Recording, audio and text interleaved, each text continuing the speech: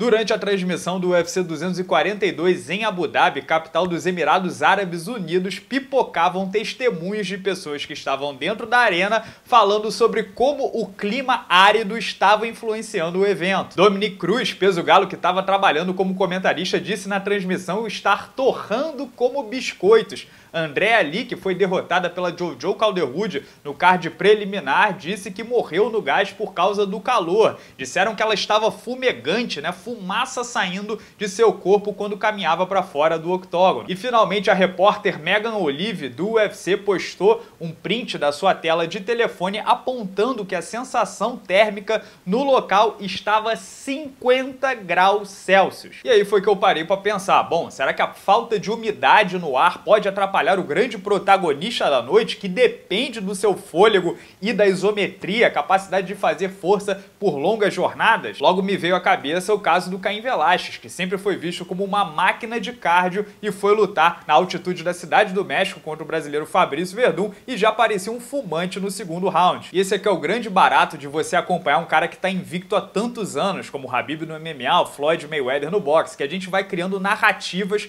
que justifiquem um dia diferente. Mas esse, meus amigos, novamente não foi o dia. Dustin Poirier, campeão interino da categoria, que tinha atropelado Anthony Pettis, Ed Álvares, Justin Gate e o campeão dos penas Max Holloway, se juntou à lista de outros 27 homens que sucumbiram à pressão desse verdadeiro trator humano. Sim, Poirier fez o que podia. Aliás, até hoje é o único homem que levou dois perigos reais imediatos até Habib na mesma luta. No segundo round, balançou o russo em pé, né? acertou um cruzado de direita que tocou a ponta de queixo e Habib deu uma balançada, como na luta contra o Michael Johnson, que ele engoliu um direto de esquerda e no terceiro round, numa das últimas quedas que levou, encaixou uma guilhotina com o braço direito que estava esganando o russo, que precisou ceder a posição de cima, né? aceitou ser raspado e ficar por baixo para conseguir sair do sufoco. Mas fora isso, meus amigos, Poirier foi feito de carne moída, devidamente amassado durante todo o restante da luta. Inclusive no primeiro round eu marquei 10 a 8 o Habib. E como eu disse na prévia, o meu vídeo com o palpite, um cara que tem pelo menos 15 anos de wrestling para treinar para o MMA e a faixa preta de jiu-jitsu,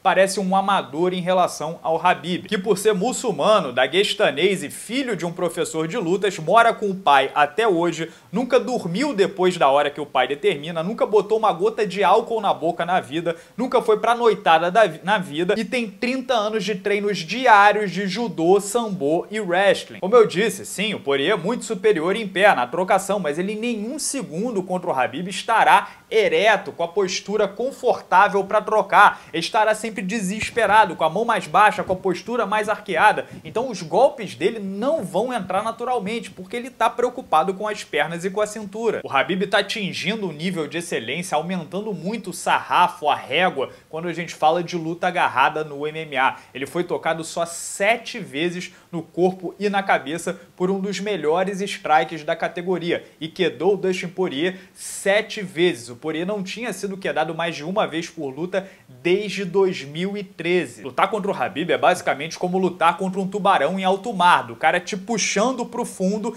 e você se debatendo, lutando, perdendo o fôlego, a respiração e sem ter o que fazer. Em todos os rounds, o Habib pegou as costas, montou, foi um verdadeiro massacre, passeio no chão. E o Dustin Poirier fazia toda a sua força e parecia inofensivo, indefeso, com aquele olhar já sem esperança que todos os últimos adversários do Habib mostraram. Edson Barbosa, Conor McGregor, Michael Johnson. Assim que soou a buzina do segundo para o terceiro round, inclusive o Dustin Poirier já estava com a mão nas cadeiras, com a língua para fora, extremamente extenuado por ter feito 10 minutos de isometria, luta agarrada. Se o Habib quisesse lutar em pé no terceiro e no quarto round, de repente ele até levaria melhor, porque o Dustin Poirier não tinha mais força, não tinha mais suco nos braços. O quebra-cabeça Habib Nurmagomedov é muito difícil de ser desvendado porque ele atua exatamente na psicologia, na frustração do adversário. Ele não precisa nocautear nem finalizar no primeiro, no segundo e no terceiro round, mas só de um atleta profissional, bem treinado, de elite, de altíssimo nível,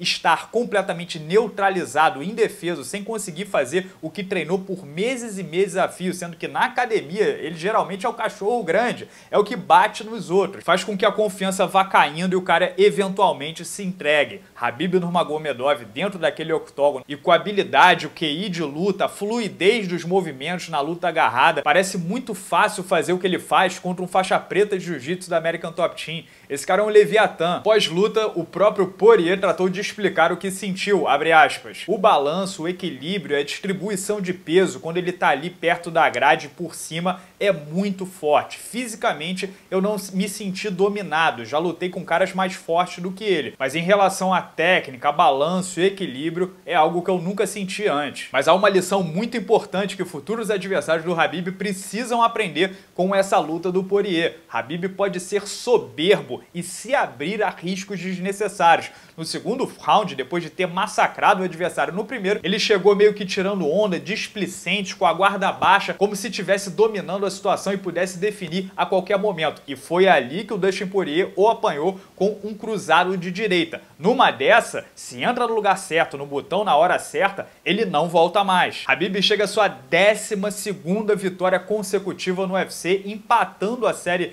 de Tony Ferguson e a segunda defesa do cinturão linear. Se eu não me engano, apenas BJ Penn e Ben Henderson têm três defesas de cinturão nessa categoria. Então, se ele vence na próxima rodada, ele também estabelece esse recorde histórico. Com mais uma vitória, aliás, ele alcança a segunda maior série invicta da história do UFC, perdendo apenas para o Anderson Silva, que tem 16 vitórias consecutivas. Pós-luto, o Russo ainda fez um discurso sobre respeito, dizendo que os lutadores de MMA precisam se respeitar. Estava usando a camisa do Dustin Poirier, que tem uma instituição de caridade. Ele disse que vai vender a camisa e mandar a grana para o diamante. Discurso que, na minha opinião, vai ao encontro do que ele já havia dito semana passada, que não vai dar title shot para o Conor McGregor. O UFC pode oferecer o dinheiro que for, que o próximo da fila é o Tony Ferguson. E de fato, eu torço muito para ele manter a sua palavra, porque meus amigos, eu não sei vocês, mas a luta que eu mais quero ver no MMA no mundo hoje em dia é Habib Nurmagomedov versus Tony Ferguson, praguejada por lesões. Essa luta já caiu quatro vezes, mas que na quinta